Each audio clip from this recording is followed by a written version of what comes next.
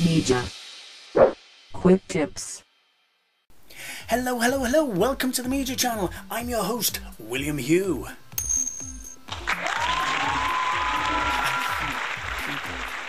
Today, I'm talking about thumbnails. No, not that kind. The kind that YouTube puts up to show people what your video is about.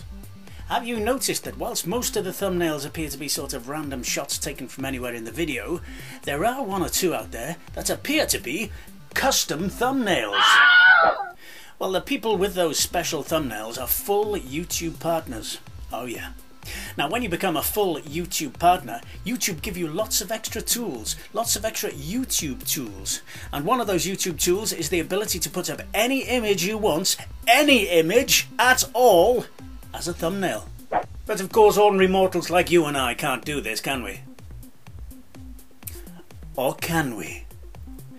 There is a way. It's a technique called cheating.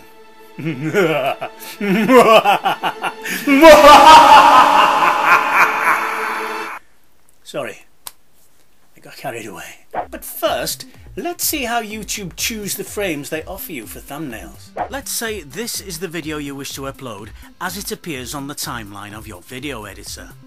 When the YouTube robot comes to choosing frame grabs to offer you as thumbnails, it will divide your video into three areas, beginning, middle and end.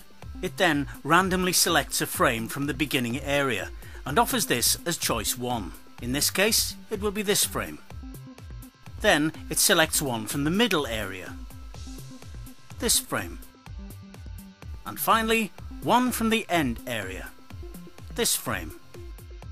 To get a custom thumbnail, load up your previously prepared thumbnail as an image and drag it to your timeline at the end of your edited video. Then stretch out the image until it is half the length of your edited video. So if your video is say 2 minutes long, you need to add another minute of your thumbnail to the end. Now taking this video as a whole, this of course means that the entire end third of your video now consists of your thumbnail, guaranteeing that the YouTube robot will offer you a frame from it for you to use as a custom thumbnail. So there you go, that's how you can cheat yourself a custom thumbnail.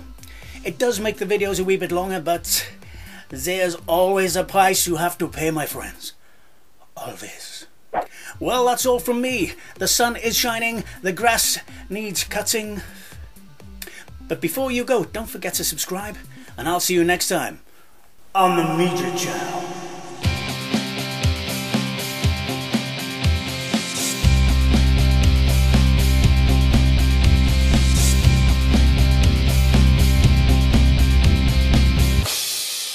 Major.